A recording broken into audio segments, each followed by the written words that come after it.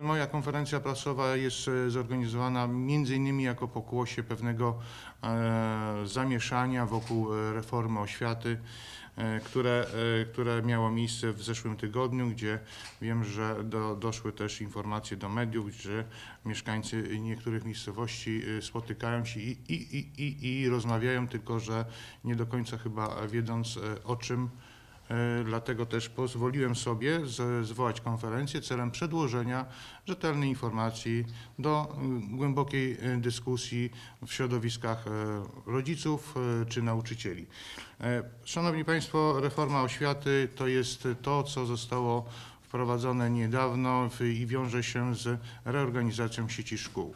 E, Od 1 września 2017 roku wszyscy wiemy, że przestaną funkcjonować e, gimnazja, e, w tym, w tym będą wygaszane gimnazja i w te miejsca wchodzą siódme klasy szkół podstawowych. W 2019 roku gimnazjów już w ogóle nie będzie, będziemy mieli tylko szkoły podstawowe ośmioklasowe.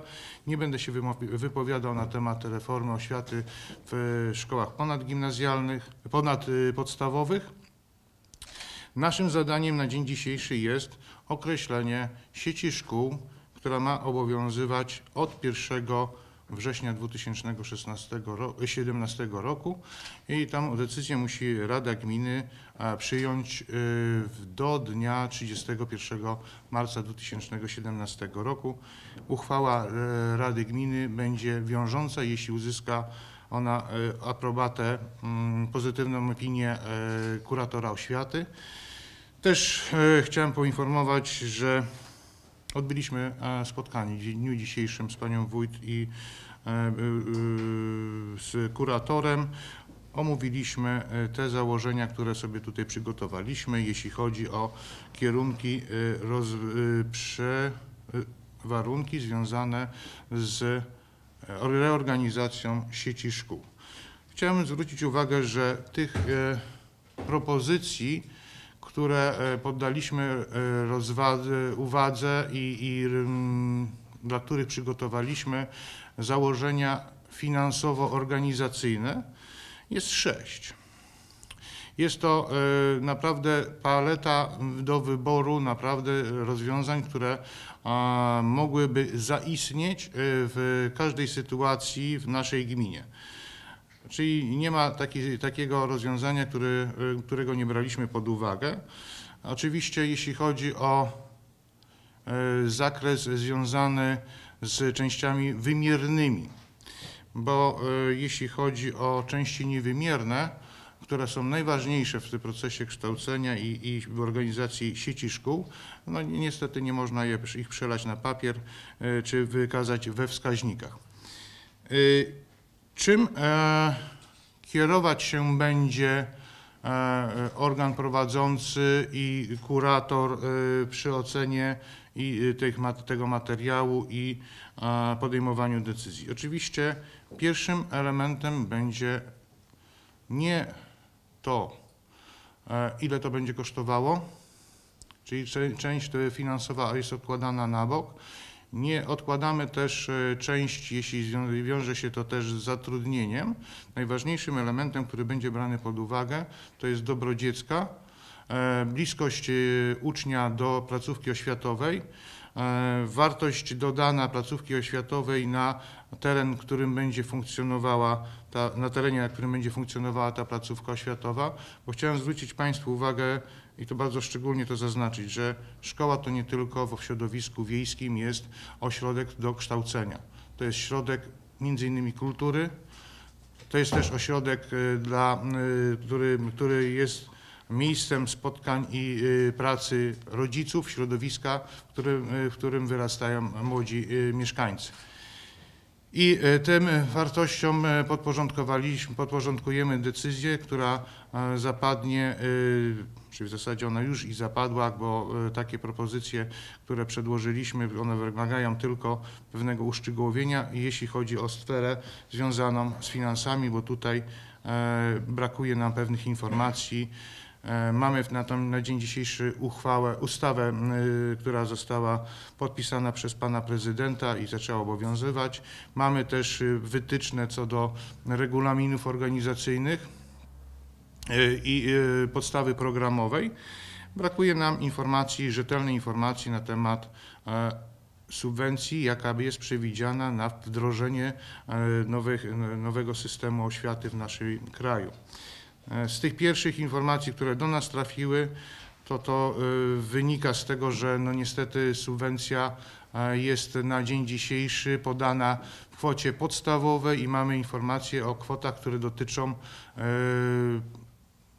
wagi dla szkół, dla klasy 1-3 i ta waga jest je- na poziomie 1,44, a podstawą bazową, podstawą, e, podstawa bazowa do naliczania subwencji to jest e, 5300 313 zł zdaje się. Jeśli byśmy mieli e, informację dodatkową, e, która jest, wiąże się z tą reformą, to moglibyśmy powiedzieć, ile do, do- dodatkowo środków uzyskamy za prowadzenie szkół na, w miejscowościach do 5 tysięcy mieszkańców. Nie mamy tej informacji, bo taka będzie e, dodatkowa e, dopłata dla e, samorządów. Też dla małolicznych szkół ma być dopłata, czyli nie wiemy od jakiego poziomu. Liczebność uczniów będzie liczona jako spełniająca kryteria małej szkoły. No i jeszcze mamy braki dotyczące informacji, jeśli chodzi o wagi dla różnych y, form do kszt- kształcenia. Wiąże się to z y, klasami integracyjnymi dla dzieci, y, mm, które mają orzeczenia. E, To się jeszcze wszystko e, okaże w najbliższych dniach, przynajmniej tak nam e, pan kurator dzisiaj powiedział, że faktycznie, że bez tych y, symulacji nie możemy pewnych informacji jeszcze przekazać, ale na dzień dzisiejszy mamy, chciałem zwrócić tylko uwagę, funkcjonujących na terenie gminy Szczeci- Szczecinek e, sześć, e, pięć szkół e, podstawowych, przy czym jedna ze szkół e, posiada filię. E, Jest to szkoła e, podstawowa w Parsensku, szkoła podstawowa w Żółtnicy, e, zespół szkół w Gw- e, w Gwdzie Wielki, zespół szkół e, w Turowie, zespół szkół w Wierzchowie z filią e, w Sporym. Na dzień dzisiejszy jesteśmy e, e, na poziomie zatrudnienia nauczycieli w ilości 84,6 etata, etatu, przepraszam, 36 e, pracowników e, obsługi e, i mamy w dyspozycji w klasach niespełna 660, przepraszam, 667 uczniów. Chciałbym zwrócić uwagę też przy podejmowaniu decyzji o sieci szkół, bie- bierzemy też pod uwagę, że szkoły są zakładem pracy i zatrudniają mieszkańców. I są bardzo to e, dobre miejsca pracy, bo są bardzo są blisko miejsca zamieszkania pracowników. Przede wszystkim jeśli chodzi tutaj o nauczycieli i o pracowników obsługi. Y, Szanowni Państwo, jeśli chodzi o y, demograficzne sprawy, które mają miejsce w naszej gminie, to y, pomimo tego, że ilość mieszkańców gminy Szczecinek nie spada, to y, niestety struktura y, demografii naszego, naszego, naszej gminy jest zdecydowanie spadkowa, jeśli chodzi o sektor, część tą dotyczącą wieku szkolnego. I co odnotowujemy, co w każdym roku od kilku lat i badając e, perspektywę, w kolejnych latach też mamy do czynienia ze spadkiem ilości e, dzieci w naszych szkołach. Jeśli chodzi o e, realizowany dowóz uczniów do szkół, odbywa się on w wykorzystaniem firm zewnętrznych, własnego transportu i zlecenia dowozu przez rodzi, dla rodziców i ten dowóz kształtuje się na poziomie, w naszym przypadku w tym roku, e, 2000, w roku szkolnym 2016-2017 na poziomie 609 tysięcy złotych. Także też e, chciałem zwrócić uwagę na szczegół, który jest dość ważny. E, że nasze, nasza, nasze dzieci, które nie są objęte obowiązkiem szkolnym, uczestniczą też w zajęciach e, w wychowaniu przedszkolnym i tych dzieci, e, w, które opuszczają teren gminy i, i, realizują te wychowanie przedszkolne w innych samorządach, to jest na poziomie e, 82 dzieci w e, ciągu roku. Chciałem zwrócić uwagę na to, że w nowym systemie, który sobie zakładamy, będziemy e, wzmacniać e, e, wychowanie przedszkolne poprzez tworzenie przedszkoli. Wiemy, że dobrze by było, gdyby te przedszkola, które będą powstawały, były otwarte przez dłuższy okres niż 5 godzin, jak jest to w tej chwili. Będziemy dążyli do tego, żeby przedszkola funkcjonowały od godziny co najmniej 6.30 do godziny 17 w celu zabezpieczenia potrzeb mieszkańców, e, które e, wynikają z pracy zarobkowej, gdzie mieszkańcy chętnie pozostawiają dzieci na, pod, bacznym opie, pod bacznym okiem opiekunów w szkole, y, w szkole czy w przedszkolu po to, żeby mogli sami zawodowo pracować. Przejdźmy do tych rzeczy, które są e, dość ważne i ciekawe. Dotyczy, dotyczy tutaj, e, przygotowaliśmy dla siebie, dla radnych, dla e, dyrekcji, dyrektorów szkół, dla e, związków zawodowych informacje dotyczące demografii wynikającej z poszczególnych miejscowości, poszczególnych miejscowościach, jak się to kształtuje i też w obwodach szkolnych. Ale nowa sieć szkół, propozycje, które rozważaliśmy. Pierwsza propozycja, którą e, poddaliśmy ocenie, to jest e, propozycja wiążąca się z utrzymaniem ośmioletnich szkół podstawowych e, w sześciu szkołach, łącznie z, z, łącznie z jedną, jedną placówką filialną i to właśnie chodzi o cały czas o Wierzchowo, czyli pozostajemy przy schemacie obecnie funkcjonującej sieci szkół na bazie szkół podstawowych. Y, I y, tutaj mamy, mm, proszę Państwa, jeśli chodzi o plusy tego przedsięwzięcia, to są te, które spełniają oczekiwania i y, organu prowadzącego, a i szkół, i kuratora.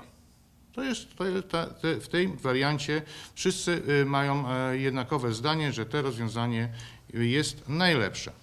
Ale też rozważyliśmy, Już nie będę tutaj e, Państwu przedstawiał e, kwot, które nam wynikły z e, przeprowadzonej analizy, chociaż e, one trafią najprawdopodobniej do mediów w formie papierowej, dlatego będziecie mogli Państwo sobie to przejrzeć. Nie będę się tutaj e, wypowiadał, jeśli chodzi o kwoty. To jest najdroższe rozwiązanie. Powiem tylko tyle. Następnym, e, następnym, czy może podamy? Podamy. Ogólny koszt, tylko jak to powiedzieć, ogólny koszt. E, Wiele nieznanych mamy tutaj czynników, które wystąpią w trakcie. To są podstawowe elementy związane, kosztotwórcze, które wpływają na, e, na koszty utrzymania e, szkół i sieci szkół.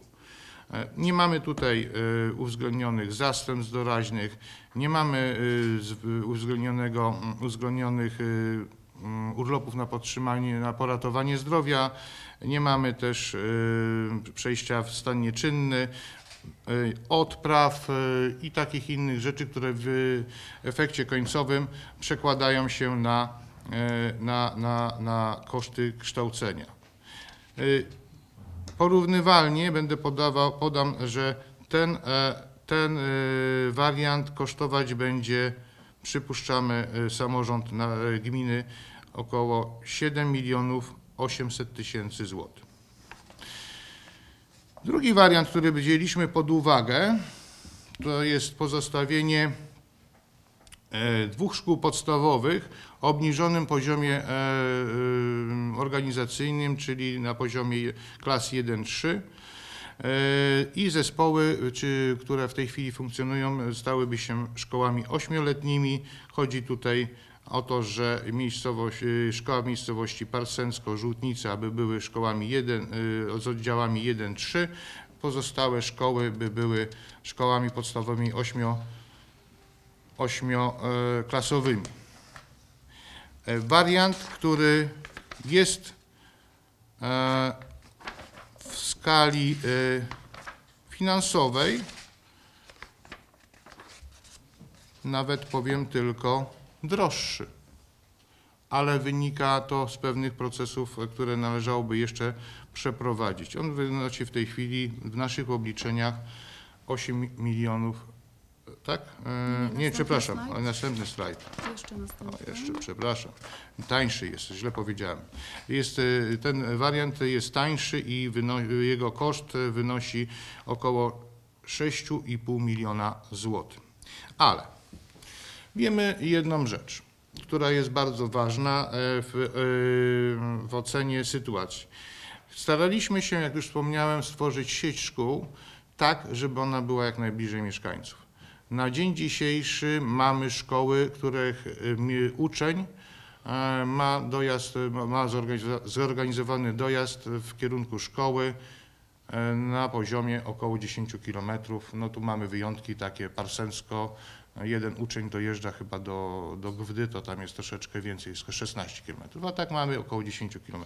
I chcemy taki, taką e, ilość szkół, e, po, chcemy pozostawić. Gdybyśmy wprowadzili system e, trzyletniego, e, prowadzilibyśmy szkoły trzy, trzyklasowe w dwóch placówkach, możemy się liczyć z tym, że przede wszystkim pozostałe roczniki, czyli od klasy czwartej do ósmej, nie trafią do tych szkół, które byśmy chcieli trafić, żeby trafiły te dzieci, bo dzieci będą jechały tam, gdzie wskażą to im rodzice, a my byśmy tutaj y, za, mieli duże straty, jeśli chodzi o wartość społeczną w tym, y, w tym rozwiązaniu.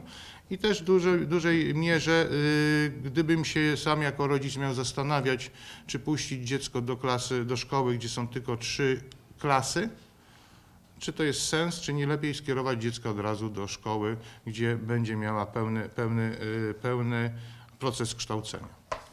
Dlatego ten wariant sobie też przygotowaliśmy dla e, wskazania ilości, musi- chcieliśmy poznać ilość, e, jakie środki będą e, musiały być użyte dla zaspokojenia potrzeb tego wariantu. Następny wariant polegał na, by na tym, że powstałyby m, w miejscu dwóch zespołów e, dwie szkoły na terenie gminy Szczecinek i to była szkoła w Wierzchowie i w Turowie. Po przeanalizowaniu kosztów ten wariant kosztowałby samorząd gminy y, 4 miliony 700 tysięcy, przepraszam, 4 miliony 94 tysiące złotych. Co się wiąże z, ty- z tym e, wariantem, że mamy coraz e, bardziej e, pogłębione zachwianie potrzeb społecznych. Mamy zdecydowanie planowane, planowane koszty przewidziane były dla dzieci, które by trafiły z innych od, w tej chwili prowadzonych mm, szkół do tych dwóch. Niestety na pewno się to nie uda. Wiemy o tym, dlatego ten wariant też jest dla nas ważny do oceny e, rozwiązań, które, e, rozwiązania, które e, mamy na myśli, jeśli chodzi o sieć szkół. Kolejny wariant to jest trzy zespoły szkół przekształcone są w ośmioletnie szkoły podstawowe.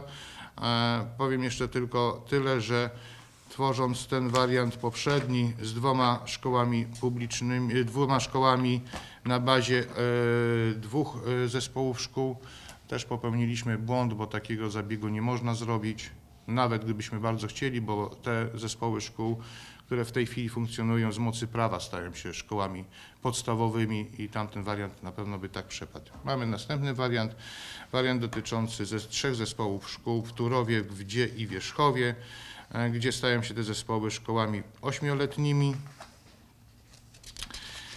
Chciałbym zwrócić uwagę na fakt, że ten wariant jest, kosztowałby samorząd 5 milionów 281 tysięcy złotych. e, tak jak podobnie do wariantu poprzedniego, e, duże, e, duże koszty społeczne byśmy ponieśli z tego tytułu. Też zdecydowanie na pewno ta kwota, która została tu Państwu przedłożona, uległaby zmianie rentowność kształcenia na poziomie e, tego, tego wariantu e, zdecydowanie by była e, obniżona. Był też rozważany wariant, który nie został przygotowany. Już dzisiaj wiemy, że też po rozmowie z kuratorem nie byłoby przyzwolenia na wariant taki, gdzie by proponowaliśmy też pozostawienie trzech szkół publicznych w oparciu o zespoły szkół i stworzeniu dwóch szkół niepublicznych w oparciu o szkoły, które w tej chwili są tylko szko- szkołami podstawowymi. E, Dzisiaj po rozmowach z kuratorem okazuje się, że y, to jest też zły kierunek w związku z tym, że e, kolejnie, kolejnym etapem w reformach oświaty będzie też reforma związana ze szkolnictwem niepublicznym. Dlatego też nie chcemy nikogo wsadzać na minę. I ostatni wariant szósty, e, który y, dzisiaj też analizowaliśmy z panem, e, z panem, z panem kuratorem. To jest e, wariant, kiedy samorząd gminny w ogóle by nie prowadził e, e, kształcenia na poziomie szkół podstawowych na terenie gminy Szczecinek i podpisałby porozumienie z innym samorządem. Oczywiście ten wariant jest całkowicie hipotetyczny i absurdalny, ale też wzięliśmy go pod uwagę w związku z tym, że wiemy, że taka rzecz jest możliwa. Dlatego też na dzień dzisiejszy jesteśmy po dość nawet nie wstępnej, a dość e, głębokiej analizie wszystkich wariantów, które założyliśmy sobie do przeanalizowania. E, I e, wychodzi nam na to, że przy wychodzi nam na to, że przy osiągnięciu konsensusu, a przy, który, o który będziemy występowali do mieszkańców gminy, związków zawodowych i kuratora, a wariant pierwszy staje się nam wariantem, który będzie wiodącym w rozmowach na e, poziomie szkół e, i e, Rady Gminy. E, Dlaczego e, bierzemy pod uwagę różnego rodzaju inne rozwiązania? Otóż dlatego, proszę Państwa, że my jesteśmy też odpowiedzialni za finanse publiczne. My musimy też wytłumaczyć e, dla mieszkańców, dlaczego tak, a nie inaczej, dlaczego to ma tyle kosztować, a nie tyle. E, Też musimy zobaczyć na to, że jesteśmy e, jednostką samorządu gminnego, który jest kontrolowany przez Regionalną Izbę Obrachunkową i ja nie chciałbym mieć sytuacji takiej, że ktoś mi później a zarzuci, że podjęliśmy pochopnie decyzję, nie analizując e, poszczególnych elementów e, mm, tworzących zespoły szkół. Czy są pytania? Czy rozmawialiście Państwo może e, wstępnie z jakimiś rodzicami z jakichś szkół, czy są, e, czy też zaplanowane są spotkania, żeby i oni mogli się wypowiedzieć w tej kwestii? Tak. E, Z każdą, z, z rodzicami i to nie tylko dzieci, tylko z mieszkańcami w szkołach spotkamy się w, przed podjęciem uchwały tutaj na, przez Radę Gminy. Będziemy, ta opinia jest dla nas bardzo ważna, bo też chcemy, żeby sobie też mieszkańcy zdali sprawę z tego, że są współodpowiedzialni głównie za e, rentowność przedsięwzięcia. Jak wspomniałem, e, co najmniej połowa e, dzieci z terenu gminy Szczecinek realizuje proces kształcenia w innych w placówkach nienależących do samorządu gminy Szczecinek. Ja chciałem zwrócić uwagę, że ta wartość, które, te, te koszty, które my ponosimy na utrzymanie placówek, e, na y, utrzymanie kadry pedagogicznej i, i, i, i- wszystkiego, co jest związane z kształceniem, e, jeśli jest obciążane e, ujemnym wynikiem, jeśli chodzi o uczniów, no to za każdym uczniem niestety idą pieniądze. Jeśli my mamy mówić o e, stabilnym e, funkcjonowaniu oświaty na terenie gminy, to nie wójt jest za to odpowiedzialny, ile dzieci chodzi do szkoły, tylko też mają duży wpływ na to rodzice. I chciałem z rodzicami dzieci uczęszczających przyszłych rodziców też zapraszam na takie spotkania, bo musimy sobie pewne rzeczy powyjaśniać, żebyśmy mieli jasność sytuacji, że każdy uczeń, który w tej chwili chodzi do naszej szkoły, przynosi w granicach e, 7, mili- sie- 7 tysięcy, mm, chyba 600, sie- 600 zł, a 10 uczniów to jest już dobry etat nauczycielski. Nawiążę do jednej takiej sytuacji, która miała miejsce w piątek w zeszłym tygodniu, tutaj jak Pani już, y, żeby pełniej odpowiedzieć na Pani pytanie. Odbyło się y, spotkanie, które nie było zainicjowane przez, y, ani przez samorząd, ani przez radnych. Spotkanie miało miejsce w miejscowości Żółtnica, gdzie wpłynął protest mieszkańców wiążący się z likwidacją szkoły Żółtnicy bądź obniżeniem stopnia organizacyjnego. Szczerze powiedziawszy, nie wiem, komu zależało na e, wzbudzeniu jakichś no, niezdrowych emocji. Powiem tylko tyle. Informacje o wariantach to nie jest informacja o likwidacji. E, Ja materiał dotyczący perspektyw e, oświatowych w gminie Szczecinek, ten dokument dostałem do ręki w poniedziałek. Czyli nawet gdybym był e, zaproszony na spotkanie do Żółtnicy, nie byłbym w stanie nic powiedzieć. Dzisiaj wiem, jakie są koszty, wiem, jakie są koszty społeczne, wiem, że mieszkańcom zależy bardzo na tym, żeby szkoły w tych miejscach, w których funkcjonują, żeby funkcjonowały. Organowi też na tym zależy i kuratorowi też na tym zależy. Czyli dokładnie powiem, że nie wiem o co chodziło na tym spotkaniu w Żółtnicy. Wydaje mi się, że było zbyt przedwczesne i tak i tak będziemy mieli jeszcze spotkanie oficjalnie, gdzie przedłożymy wszystkie aspekty związane z reformą oświaty. Tak. Te warianty, które tam omawiano w Rzutnicy, yy, zdaniem protestujących sprowadzają się do tego albo do, do likwidacji szkoły yy, w trybie szybkim lub no, odroczonym, czyli ich zdaniem doprowadzenie do nauki 1-3 spra- sprawi to, co, o czym Pan Wójt wspomniał, że Tak. część rodziców pośle do Szczecinka, Dokładnie. uczniów i w ogóle yy, te trzy klasy no, przy tej demografii za rok, dwa, trzy i tak ta szkoła będzie Oczywiście. likwidowana. Oczywiście. Dlatego też y, jeszcze na jeden aspekt trzeba by było zwrócić uwagę.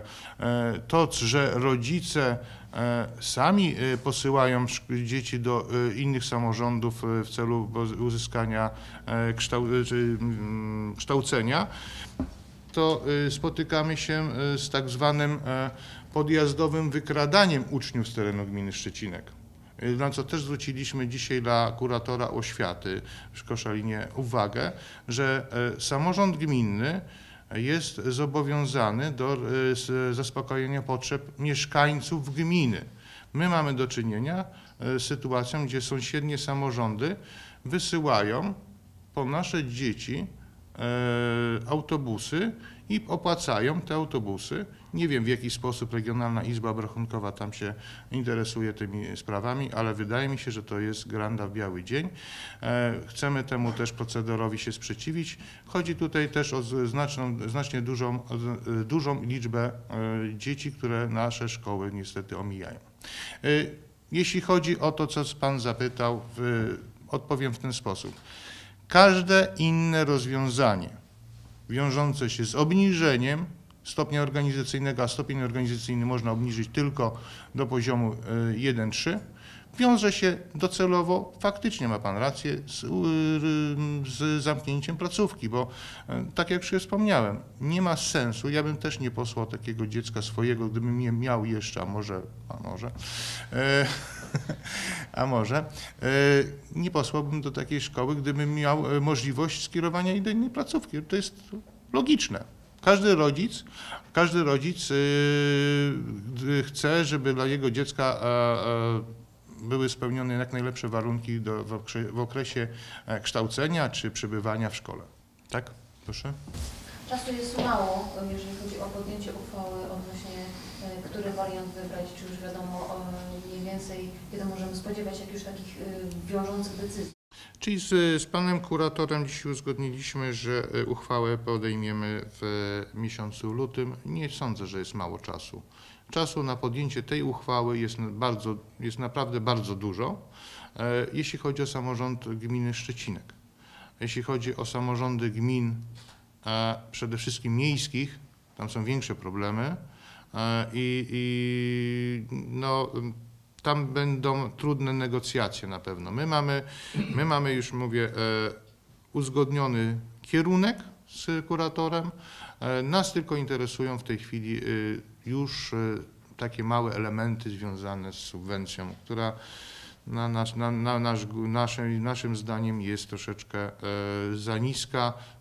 Być może, że te y, subwencje wyrównawcze do, w, oświat, w oświacie będą zastosowane i będziemy mieli mm, tą subwencję na poziomie e, roku e, 2016 bądź 2017. Jeśli e, osiągniemy ten poziom, no to jesteśmy jako samorząd gminy w stanie utrzymać taką sieć szkół, jaką mamy, do- dofinansowując e, zadania oświatowe na poziomie 4 do 4,5 miliona e, rocznie. Pytanie takie, bo gmina nie jest oczywiście tu oazą, że te zmiany są y, wdrażane właściwie w całym powiecie. Przetarza się taka fala, mm, powiedzmy to wprost, zamykania szkół. Że założenia reformy były takie, że y, zamykamy gimnazja, a nie szkoły podstawowe. I no, pojawia się już taki zarzut, że samorządowcy szukają furtki, żeby przy tej okazji pozamykać szkoły. Pytanie moje jest takie krótko, czy, czy gdyby nie ta reforma, yy, zmiana sieci szkół byłaby yy, teraz, jutro, za tydzień? Ale gdzie? U nas? Tak, no mówimy o gminie. Nie, no czyli y, nasza sieć szkół, którą my y, w tej chwili posiadamy, y, najprawdopodobniej nie ulegałaby żadnej zmianie. E, Kształcenie, kształcenie na poziomie e, gimnazjalnym i szkoły podstawowej y, w tym, w tym układzie, który w tej chwili funkcjonuje, jest zbieżny z oczekiwaniami i samorządu, i mieszkańców. Znaczy, inaczej, brzydko powiedziałem. Przecież mieszkańcy to też jest samorząd, tak? Wszystkich mieszkańców gminy Szczeciny. A y, jest też ważne, żebyśmy sobie e, nie, nie robili kuku na samym początku, tylko żebyśmy sobie rzetelnie wszystko wyartykułowali. Na dzień, na dzień dzisiejszy y, mogę powiedzieć, gdyby nie było reformy oświaty, y, zmiany w organizacji szkół, e, nie dokonywalibyśmy na pewno e, w żadnym kierunku. Staramy się od dwóch lat o zwiększenie ilości e, dzieci w, na terenie, e, na, uczących się w naszych szkołach. I to na różne sposoby. Nie chcąc ukraść komuś uczniów, tylko stwarzać jak najlepsze warunki do kształcenia. E, Dokonaliśmy szeregu zmian, które w pewien sposób spowodowały zwiększenie, czyli zahamowanie może e, odpływu dzieci e, z, e, z naszych środowisk wiejskich do innych ośrodków miejskich czy, czy, czy, czy sąsiednich samorządów e, w celu e, kształcenia. Też tutaj chciałem zwrócić uwagę na parę elementów, które będą też kosztochłonne, e, jeśli chodzi o prowadzenie tego systemu kształcenia w szkołach podstawowych. My musimy w dwóch szkołach, dwie szkoły wyposażyć specjalistyczne pracownie. To szkołę w Parsensku i szkołę w, w tym w Żółtnicy. E, Wynika to z e, podstawy programowej. Musimy szkołę w Wierzchowie a, zmieścić w jednym budynku. W tej chwili jest to w dwóch budynkach realizowany proces kształcenia. Musimy, musimy też poczynić nakłady finansowe na rozbudowę szkoły w em, Wierzchowie. Wierzchowie. Musimy dobudować oddział przedszkolny i jedną klasę, której nam brakuje. E, Musimy w tym roku też pro- przeprowadzić proces termomodernizacji obiektu szkoły w Gwie Wielkiej i Wierzchowie. Czyli na ten rok e, mamy naprawdę i na najbliższe lata mamy co robić, jeśli chodzi o inwestycje w oświatę. Poza tym musimy ponosić koszty kształcenia na poziomie około 10 do 11 milionów złotych. Czyli naprawdę y, duże zaangażowanie samorządu i mieszkańców w tym, żeby y, nasze dzieci mogły się uczyć w godziwych warunkach. Tutaj jeśli chodzi o mm, też y, jesteśmy troszeczkę odmiennego zdania, jeśli chodzi o stanowisko kuratora i, i tutaj naszych wyliczeń, e, jeśli chodzi o ilość etatów nauczycielskich. E, Tutaj e, niestety zachodzi zmiana i to na minus, jeśli chodzi o etaty nauczycielskie. E, Jak to będzie wyglądało w praktyce, to jeszcze nawet nie jesteśmy w stanie tego określić, ale w dużej mierze zależeć będzie to od y, kwalifikacji nauczycielskich, gdzie e, wchodzą pewne nowe zadania dla szkół, e, które nie miały do tej pory kształcenia na poziomie gimnazjalnym, czyli szkół podstawowych. Te, tam muszą się pojawić nauczyciele z pewnymi kwalifikacjami, których prawdopodobnie nie mamy na terenie gminy. Y, I e, też jest dość ważna rzecz, y, która e, będzie się wiązała z budowaniem e, arkuszy organizacyjnych e, szkół w kwietniowych arkuszach. Jest nacisk na to, żeby pozostawić wszystkich nauczycieli na gołych etatach, bez nadgodzin. E, I takie założenia e, będziemy realizowali wspólnie tutaj z panem kuratorem, bo e, od tego roku kurator oświaty będzie opiniował będzie opiniował arkusze organizacyjne szkół, czyli politykę kadrową w szkołach będzie też pieczę na tym będzie miał kurator oświaty.